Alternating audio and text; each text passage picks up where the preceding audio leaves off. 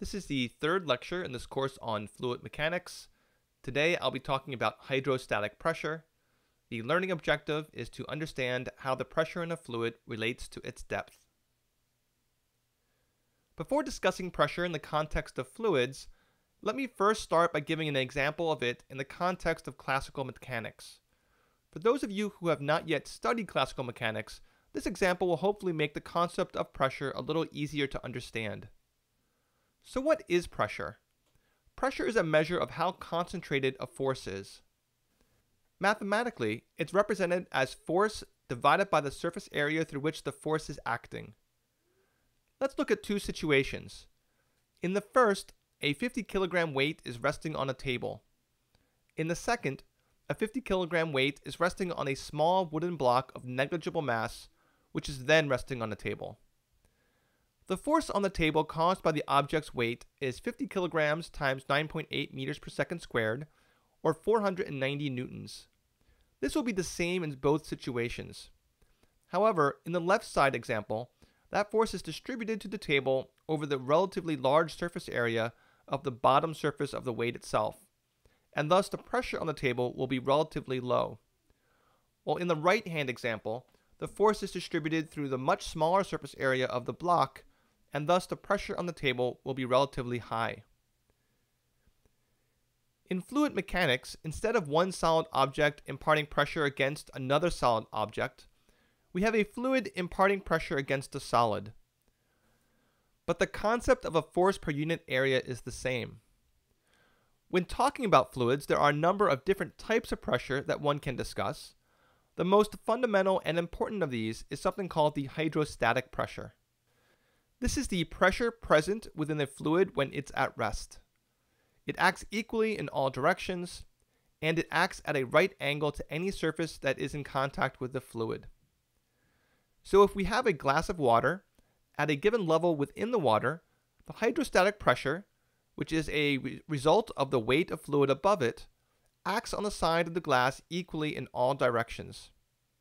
Since pressure is the force divided by area, if the pressure was somehow unequal, it would mean the forces on the glass were unequal, which would consequently result in the glass of water moving.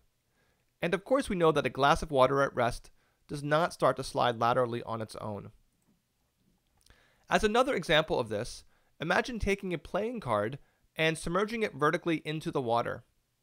The hydrostatic pressure in the water will act at a right angle to any surface in contact with the fluid, that means that there is a right-sided pressure pushing on the left side of the card and a left-sided pressure pushing on the right side of the card. As these forces are equal, the card will not spontaneously move in either direction. Keep in mind, however, that just because there is no net lateral force on the card caused by the hydrostatic pressure does not mean there is no net force of any kind on it. From the last lesson, we know that there is still the card's weight and the card's buoyancy. So unless the card is exactly the same density as water, it will still move either up or down within the water once released. Is there any way to quantify the hydrostatic pressure? Common experience might tell us that the pressure in fluid increases at increasing depth. For example, when you jump into a deep swimming pool, if you've ever dived deep down underwater, you've probably felt the pressure increasing as you go down deeper and deeper. Quantitatively, this pressure increase can be calculated with this equation. The difference in pressure between two points is equal to the density of the fluid times little g times the difference in vertical height between the two points. In the case of the glass of water here, if we were interested in the pressure at the bottom, the two points we would use would be its bottom and top. The pressure at the top is equal to atmospheric pressure, and the difference in vertical height is just the depth of the water. To refer back to the last lesson on Archimedes' principle and buoyancy, some of you might realize that the buoyant force on a submerged object, which we said was equal to density of the fluid times volume of the displaced fluid times g, is simply a manifestation of the difference in hydrostatic pressure that's acting upwards on the bottom side of the object and the hydrostatic pressure that's acting downwards on the top side of the object. An interesting consequence of this hydrostatic pressure equation, which may or may not be immediately obvious, is that the pressure at any given depth is independent of the shape of the container or the path that the pressure must be transmitted along. For example, I could have a collection of rare and exotic jellyfish that I want to display in my home, but to highlight their uniqueness, maybe I want to build an equally unique aquarium system in which to house them. If I wanted to know what the maximum water pressure was at the bottom of the system of tanks, the only thing that would matter is the total vertical distance between the top and bottom. The shape of the tanks, the volume of the tanks, the width and length of the connecting tubes are all irrelevant. Also notice that the lower tank needs a sealed lid. If the lid was not there, the weight of the water in the upper tank would cause the lower tank to overflow. This is an example of a principle frequently paraphrased that fluids at rest seek their own level. This means the surface of any fluid at rest will have the same height above the surface of the Earth at all points. Let's look at a quantitative real-world example of hydrostatic pressure. We have a house at the bottom of a hill which gets its water supply from an open, unpressurized water tank at the top of the hill. The water tank is 4 meters high and full, and the base of the tank is 50 meters above the level of the house's faucet. Given these distances, what is the house's water pressure? As we just reviewed, the pressure difference between two points within a fluid system is the density of the fluid times g times the total difference in height between those two points. So we have the water pressure in the house's faucet minus the water pressure at the very top of the tank, which if the tank is open and unpressurized, is equal to atmospheric pressure.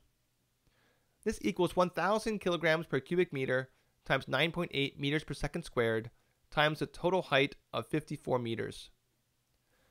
This is equal to 5.29 times 10 to the fifth kilograms per meters second squared plus atmospheric pressure. The units of kilogram per meter second squared is cumbersome to talk about, so this combination has been defined as its, as its own unit, something called the Pascal, after the French mathematician uh, Pascal, whose name has been uh, attached to a specific physical principle that will be the subject of a future lesson. In addition, this idea of a pressure that is equal to some number plus atmospheric pressure gave rise to the concept of gauge pressure since atmospheric pressure is essentially equal at both the top and bottom of this type of system. The gauge pressure in this type of situation is the total pressure minus atmospheric pressure. When people refer to the term pressure in most everyday situations, such as discussing their home's water pressure, whether or not they realize it, the gauge pressure is often to what they are actually referring.